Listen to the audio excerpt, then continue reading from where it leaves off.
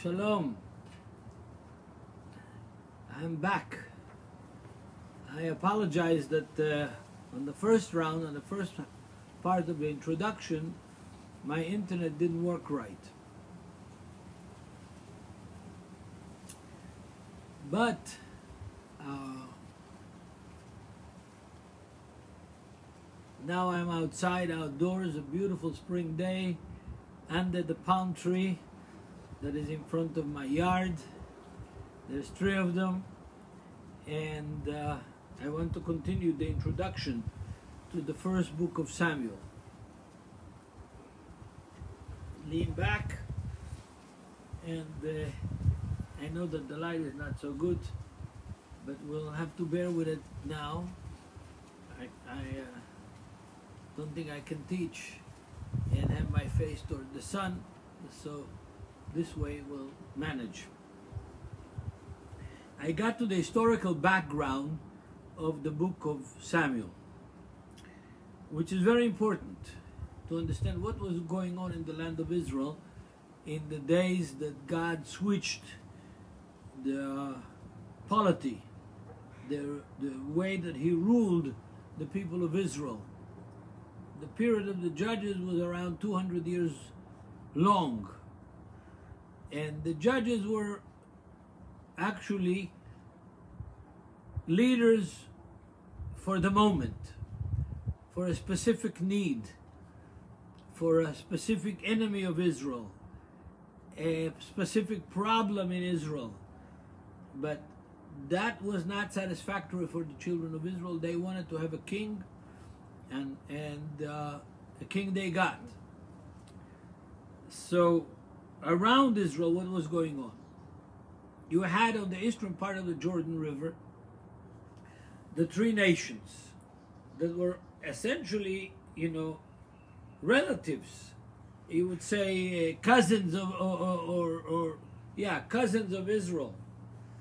Two of them were the, the, the children of, of, of Lot through his daughters that took advantage of their father. And uh, and uh, after the, the, the, the, upheaval in Sodom, they got him drunk, they got pregnant from him, and they had these two children that were children of incest and were the perennial enemies of Israel uh, living on the other side of the Jordan.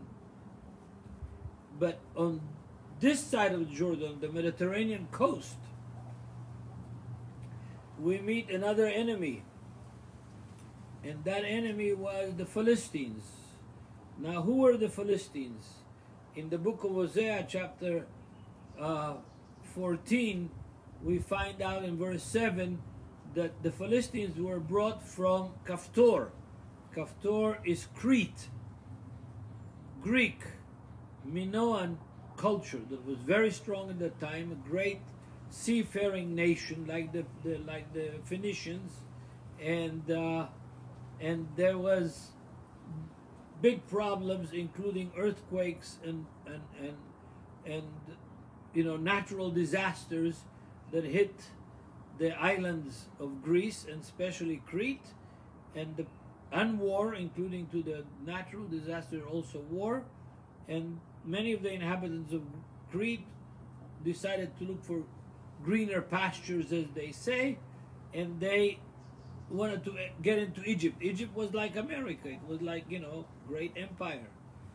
But the Egyptians were too strong for them. They couldn't uh, win the battle against the Egyptians. It's a very famous war, the War of Egypt against the people of the sea. And they couldn't win against the Egyptians, so they drifted up the coast and settled in an Egyptian territory with, with I think with Egypt's blessing because the land of Canaan was a big mess. They settled on the southern shore of the Mediterranean. In other words, uh, they settled in five city states that were actually uh, a unit cooperating with each other and these city states were uh, listed several times in the in the Bible. Gat was one of the big one. Ashdod was one of them. Ashkelon was one of them. Ekron was one of them, and uh, and they uh, were a thorn in the flesh of Israel. They had stronger technology than the Israelites. The Israelites came out of the desert. They were slaves in Egypt. And Egypt itself was not such a great technological empire like the Greeks were, like the, the Philistines were. And they had a different uh, material culture. You can see that in the in the in the Israel Museum. They had a different type of, uh, of shape of, of pottery, different color of pottery. Their pottery sometimes was bichrome, painted with two colors and with figures, and and they essentially settled on the southern coast of the land of Israel, and they were a thorn in the in the flesh. They had these cities. Uh, I didn't mention Az- Gaza first in the first lesson, but it's Ashkelon, Ashdod, Ekron, Aza, and Gat. As you can see, some of these uh, places like Ga- Gaza are still a thorn in our flesh. And the people who live there call themselves uh, Palestinians after the, the, the, the Philistines who lived there. The Palest- name Palestinians was first used by the Romans, Palestine, then by the British, and it wasn't used, generally speaking, wasn't used very much. But uh, in modern time, with the entrance of, of Israel and Zionism in the Middle East, the, these Arabs, who for most of them were sharecroppers, most of these Palestinians, uh, the land didn't belong to them. They belonged to all kinds of rich Arabs that lived in Istanbul or in Switzerland or in Paris or in London, and they, uh, they these were sharecroppers without any rights, almost slaves. Uh, when when the Zionists started to come here, but uh, they they they devised an identity for themselves that had nothing to do with them in, in, in fact because they're not Greeks like the Philistines were. They, they don't come from Greek origin like the Philistines were, and they were uh, essentially here. And we're going to meet them in the book of First Samuel, Second Samuel. We are going to uh, meet with them, and David had dealings with them, and then the others had dealings with them way up to the times of Solomon that became a very powerful king in the Middle East and was able to essentially uh, either adopt them and absorb them or eradicate them. I think that he more more absorbed them. The culture and the riches of Solomon's era uh, essentially, you know, assimilated the, the Philistines into the the inhabitants of the land, as they say. In the book of Judges, we find out in chapter 3, verse 1 to 4, that these are the nations which fought against Israel. And said that God tried Israel by their enemies. God tried Israel by their enemies. And who were their enemies? Uh, and, and he wanted them to learn how to, to do war through their enemies. So there were the five cities of the Philistines that I mentioned, the Canaanite and the Sidonite, the people from Tyre, and the Hivite that dwelled in the uh, mountains of Lebanon uh, and near the Mount Her- Hermon. And, and these were the nations that God essentially appointed here to be, uh, you know, to train Israel to do war, A, and B, to test Israel to see if they are going to be faithful or not.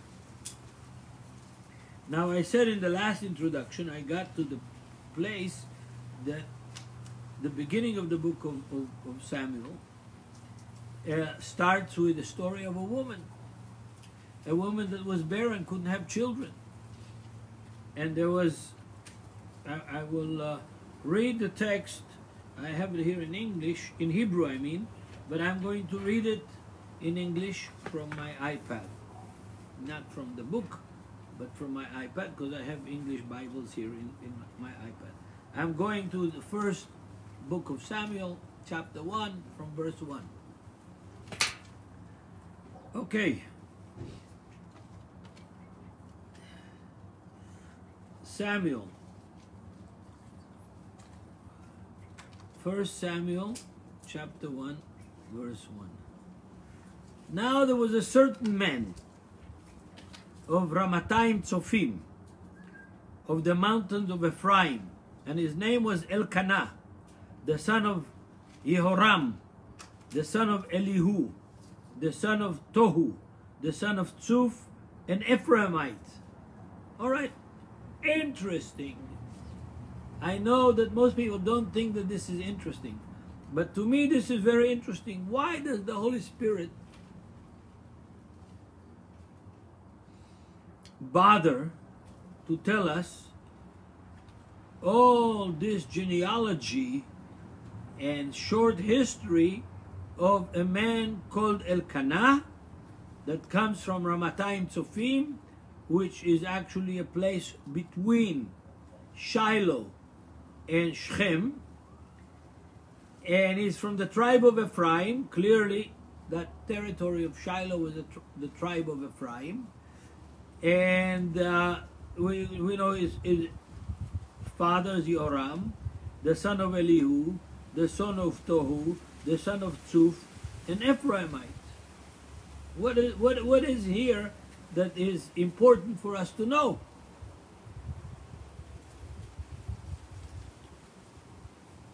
Tell you what is here that is important for us to know.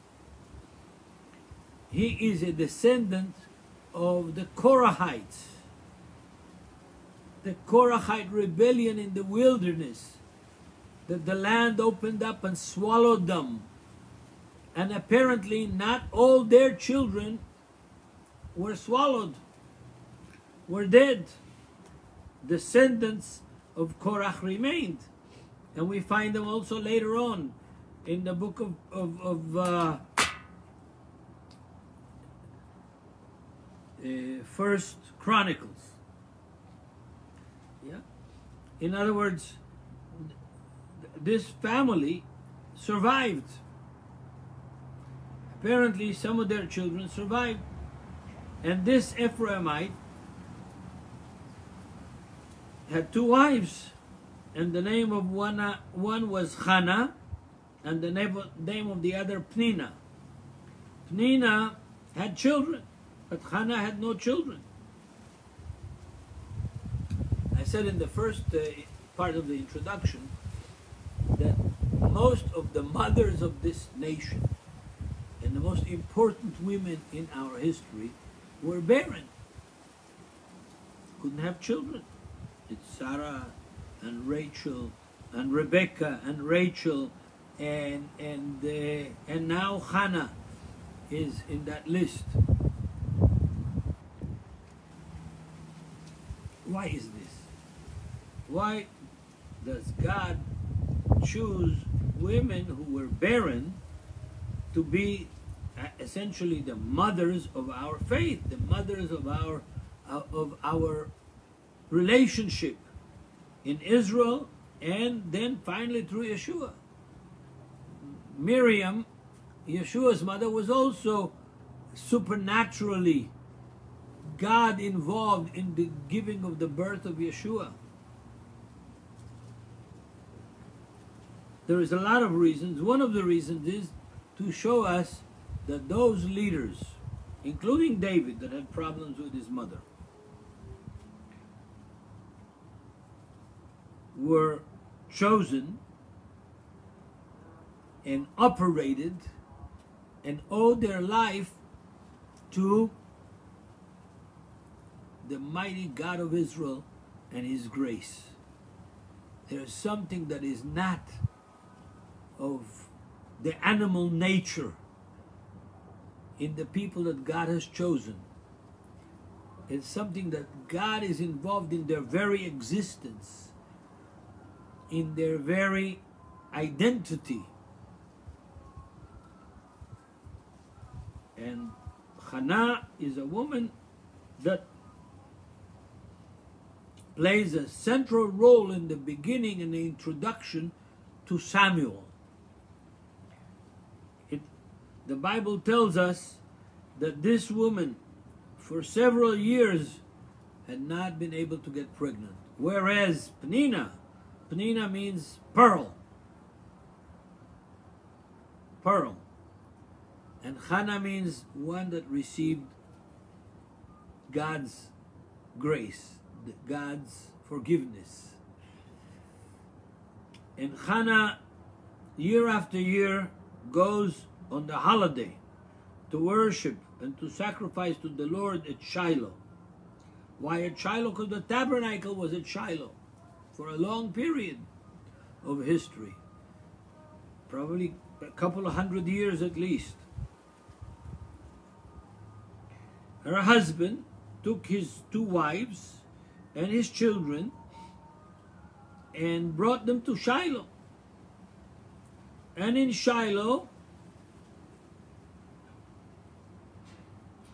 a man, the children of Israel, the men of Israel, came to Shiloh to worship because the tabernacle of God was there. There was no temple in Jerusalem. Jerusalem was not in the hands of Israel still until the days of David. And uh, they went to Shiloh, into the tabernacle, not a building, a tent. And in that tent, there was a, a, a priest, chief priest, by the name of Eli, Eli in modern Hebrew. And he had two children, Hophni and Pinchas. And they were all Kohanim, priests. And when the time of offering came, the holiday came, Elkanah, which means zealous for God, God is zealous,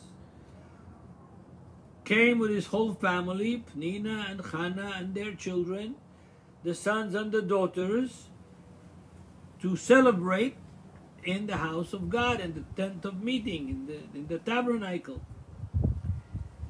And of course, Hannah would always give a double portion of sacrifice would be given by her husband Elkanah a double portion of sacrifice meat. Why? Because the Lord had closed her womb from God. Today we think everything is natural. In the Bible you find out that nature has its own course but God has a hand in nature. He has a hand in the plagues. Every plague in the Bible, near a hundred times plagues are mentioned in the Bible. Actually, a little more than a hundred times.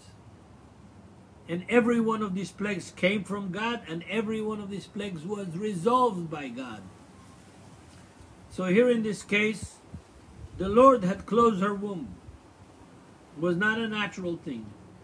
And her arrival also provoked her, provoked her severely and made her miserable because the Lord had closed her room. Her rival, Pnina, Pearl, Mini Pearl, teased Hannah, provoked Hannah, talked against Hannah, blamed Hannah that she has no children. So that's why Hannah wept she cried. And Elkanah, her husband, tells her in verse 8 of chapter 1 of 1 Samuel, Hannah, why do you cry? Why do you weep? Why don't you eat? And why does your heart uh, grieve? Am I not better than 10 sons? So whatever Elkanah told Hannah on this occasion didn't help her made her angry.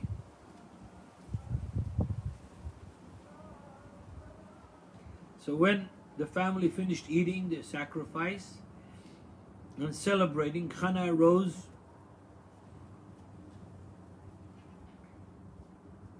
and went into the tabernacle and the high priest Eli was sitting on the seat and his seat was leaning backwards on the doorpost of the tabernacle. Oh, he was, you know, tired, relaxed, oh, just after lunch, big holiday lunch, was leaning backwards on that seat, on the doorpost of the tabernacle. And Hannah was in the bitterness of her soul.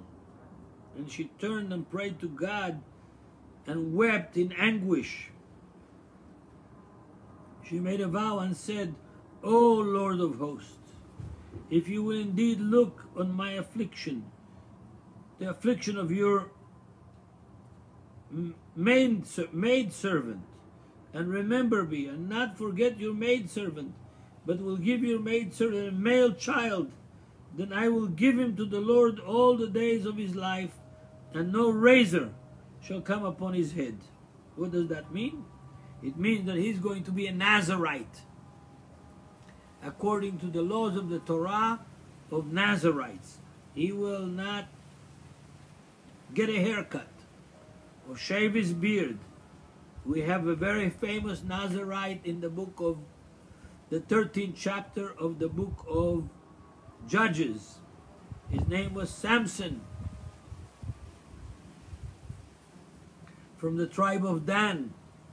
And his mother received a vision from an angel of the Lord, and then the angel had to repeat her vision to the father, to the husband, the mother of uh, uh the, the father of, of Samson.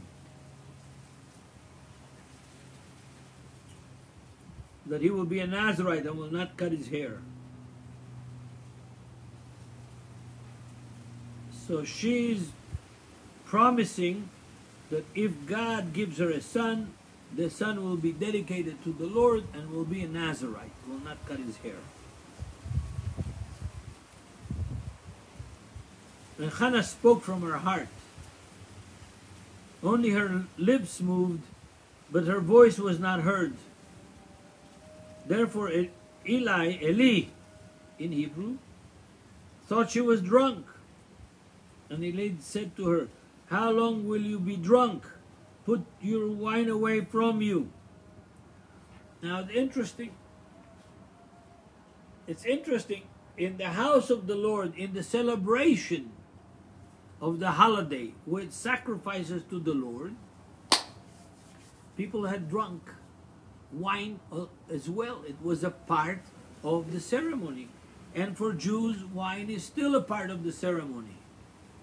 Every Friday night, every normal Jew, including Jesus and the apostles, they drank wine to say the blessings. Part of the blessings of the Shabbat require wine or grape juice if you want. If you're Baptist, you can have grape juice. Why not? Yeah. But Jews drink wine. They don't get drunk. The number of drunkards and alcoholics among the Jews is very low very low compared to the non-Jews. But they drink wine. Jesus drank wine. The apostles drank wine. Jesus made wine. Uh, I think, personally, that it is right to teach our children to drink. To drink wine wisely, soberly, and not get drunk. I drank wine from the time I was a baby. My father always gave me to drink wine, not only wine, even stronger drink. But I've never been drunk a single time in my life. Why? Because as a child I was taught to drink wine wisely. With food, one glass, it's enough. But it's a sin to tell people that it's a sin to drink wine. It's a sin, I'm repeating that, to tell people not to drink wine. And we see here that this woman, Hannah, drank wine, and that the other people that came to the worship in the tabernacle in Shiloh drank wine, and he thought that she drank too much wine and she was uh, drunk. In effect, she was not drunk. You know that the apostles in the Acts chapter 2 that spoke from the Holy Spirit, the people around Jerusalem that saw them and heard them thought that they were drunk from wine, but they were not drunk from wine. They were not drunk from wine, they were drunk from the Holy Spirit. They were acting ecstatically, like prophets often do in the Bible. And they were thought to be drunk. So this Hannah was probably didn't drink. I don't know if she drank, but Il, Eli thought she was drunk. And he tells her, Put your wine away from you. But Hannah answered and said, No, my Lord, I am not a woman sorrowful spirit.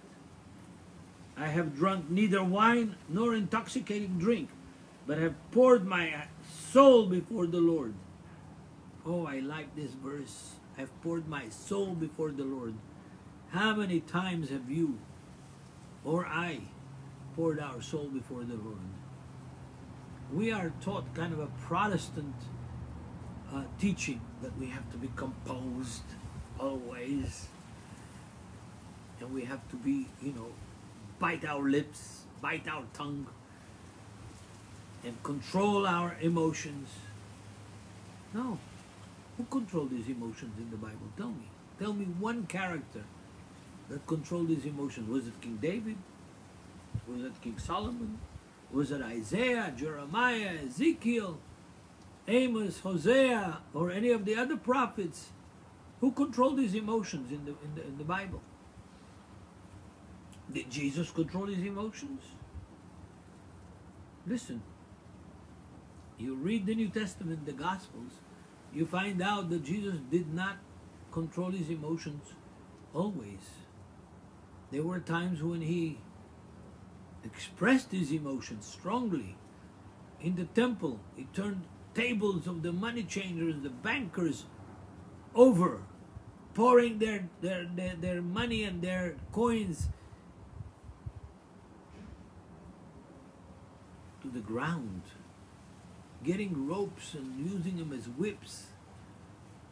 But also, he, he reprimanded the apostles as well. He didn't, you know, he was not a, a politically correct person according to today's rules of what is politically correct. And neither was anybody else in the Bible. So Hannah uh, is not shy. She tells the, the high priest, Eli, no, I'm not drunk. I didn't have any uh, wine or hard liquor. What I do have is I poured my soul before the Lord. Don't think that your maidservant is a wicked woman. For out of the abundance of my complaint and grief I have spoken until now. Okay, we all have challenges. We all have moments of sorrow. We all have some issues with the Lord. Yes, yes, yes. It's okay to have issues with the Lord. The Lord has issues with us too. And we, as human beings, naturally would have issues with the Lord because we don't understand how He works always. Most of my teaching is, is concentrated to understand how God works. And, and one of the things that I've understood long before now is that God uses people like Hannah, people like Pharaoh's daughter, people like Sarah, people like Rachel to demonstrate his power and his control over the life and over the ministry and over the purpose of his children and his human beings.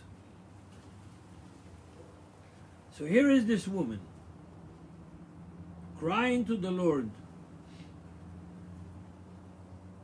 And she answers him.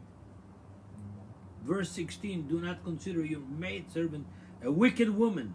You know, if she would have been drunk, she would have been considered a wicked woman. She's not drunk. But out of the abundance of my complaint, of my sorrow and grief, I have spoken until now. And Eli, Eli the high priest answers Go in peace, and the God of Israel grant your petition which you have asked of him. She answers Eli, Let your maid servant find favor in your sight.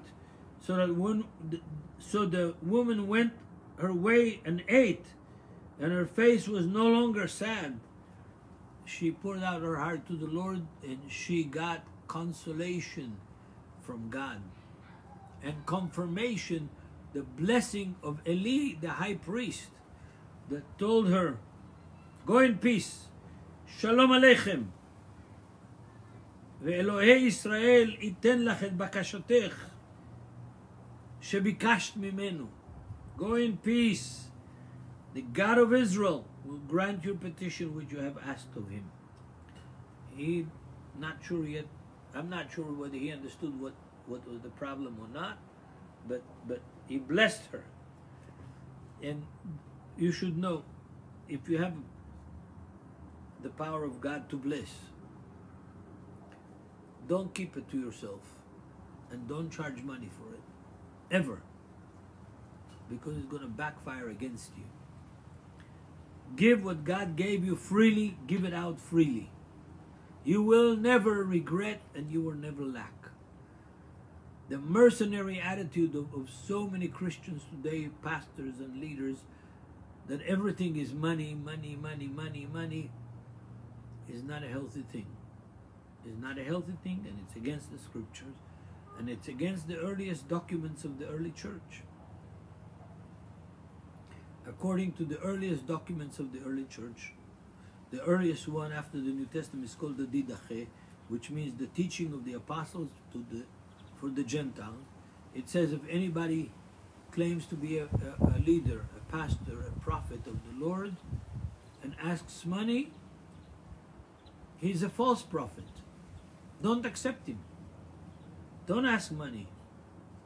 Don't charge for your teaching. Don't charge for your serving. Let the Lord take care of you, and He will. Because if you want to take care of your own business, He will allow you to do it. And you are not as good a businessman as God is Himself. That's, right. So, Miss Hannah gets up, goes away,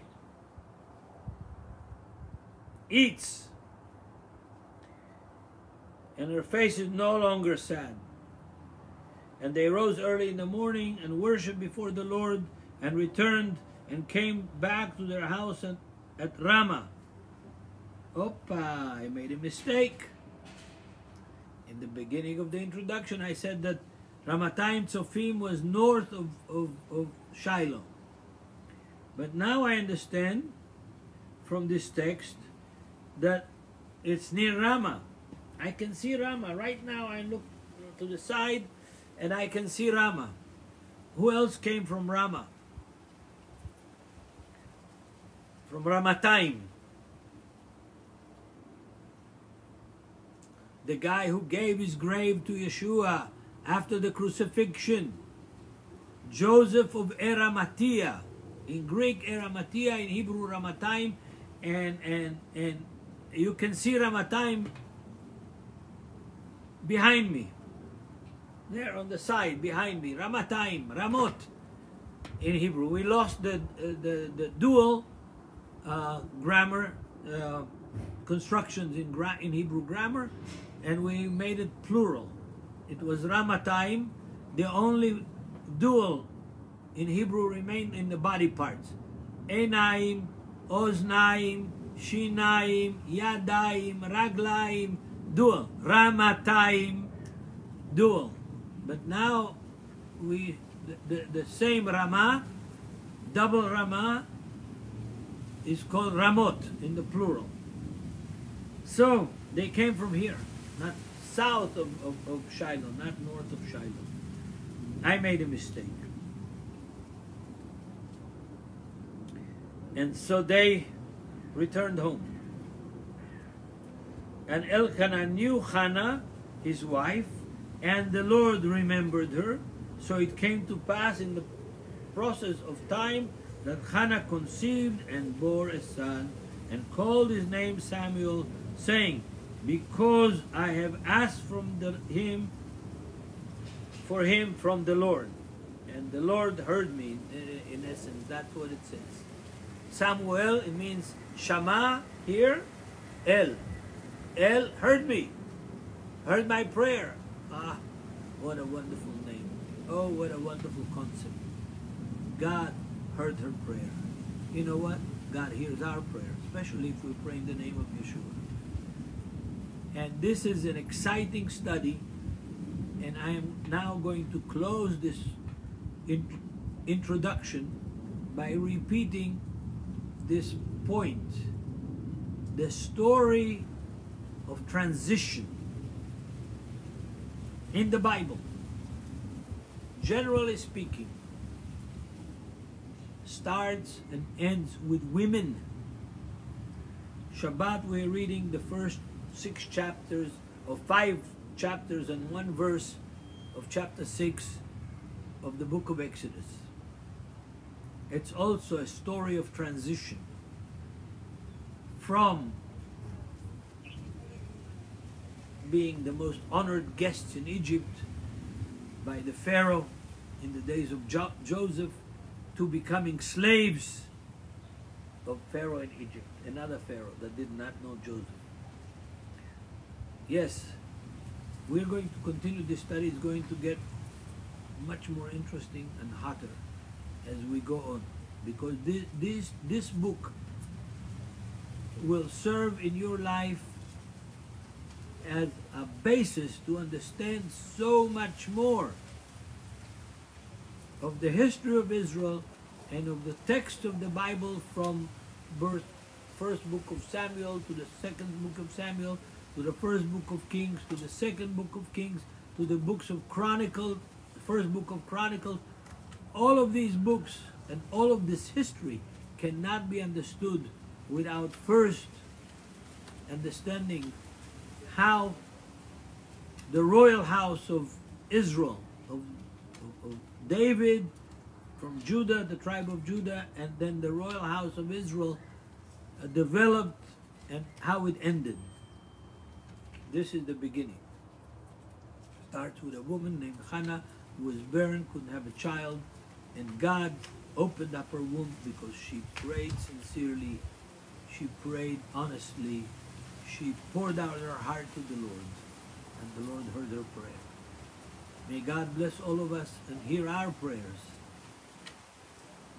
publicly and private prayers as well.